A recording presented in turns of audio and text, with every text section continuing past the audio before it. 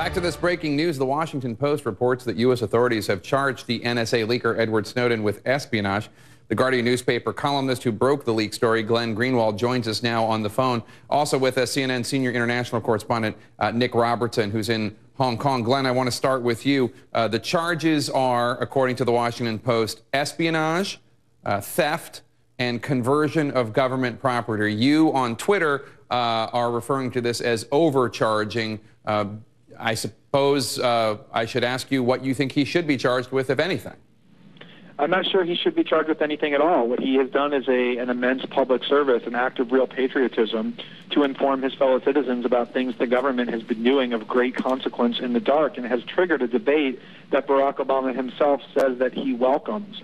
And I think the key context here is that in all of human history, all of American history before Barack Obama, a total of three whistleblowers, three, have been accused under espionage statutes. And since Barack Obama took office, this is now the seventh such case, more than double the number of all previous presidents combined. And I think that really illustrates how vindictive this president is, how much uh, acrimony he has towards any kind of transparency, even though he ran on a platform of bringing more transparency than any president in history. Well, the government response would be, uh, and since the Obama administration would not give us a, someone to talk, I'll, I'll try to guess what he, they would say, which is that he he, he was an official who was a contractor and before that he a government employee who knew uh, that top secret documents were not allowed to come to light uh, and this is not a surprise and uh, in the view of the government uh, this has made it easier for America's foes, some of whom are terrorists and mean the U.S. harm, uh, to evade our detection. How would you respond to that? When Barack Obama ran for president in 2008, what he told the American people in an effort to get them to vote for him was that he considered whistleblowing to be among the most noble and patriotic acts one can commit, and that we need more protections for them, not persecution the way that the Bush administration was doing, he said.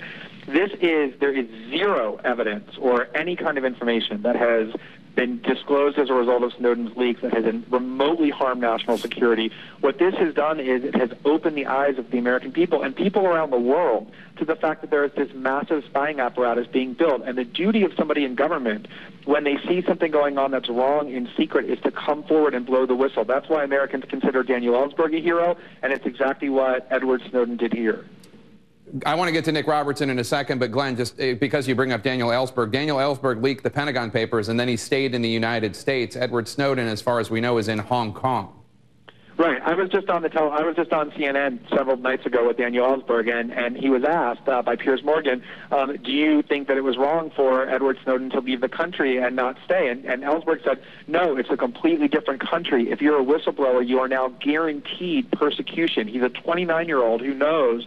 that if he engages in whistleblowing, he will be threatened with life in prison. So to demand that he stay in a country with the record of persecuting whistleblowers that this country has is unreasonable in the extreme. He wants to be part of the ongoing global debate, not stuffed up into a cage somewhere. And he wants his, his freedom because he believes he did nothing wrong and knows the United States won't provide that. Nick Robertson in Hong Kong, you've spoken to an individual uh, who is part of the WikiLeaks organization uh, about uh, his attempt to provide an escape for Edward Snowden uh, from Hong Kong uh, if he can get all his plans together. Tell us more about that.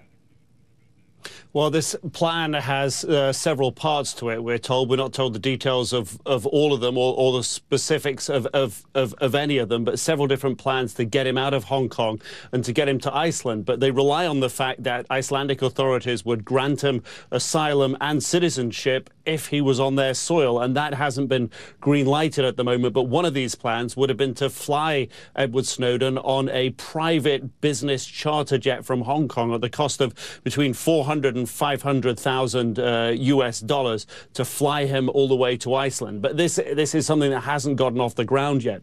Just picking up on what Glenn is talking about, the point of persecution. Um, of course, these these charges now uh, do set in motion a legal process here here in Hong Kong. The chief executive must now look at those charges and decide whether or not to uh, pass them to the court to issue an arrest warrant. The, all the indications are that he probably would. But the way that the way that Edward Snowden can respond to these charges is is in one of the ways that, that Glenn just outlined, and that is persecution, political persecution, claim asylum, non-refoulement, non-return, as it's known here, um, on the basis of persecution, or he could do it on the that if he went back, he would be tortured, or on the basis that he would be uh, subject to cruel and inhumane uh, treatment if he went back to the United States. But this political persecution, listening to Glenn, sounds like the avenue that uh, Edward Snowden might be trying to pursue here.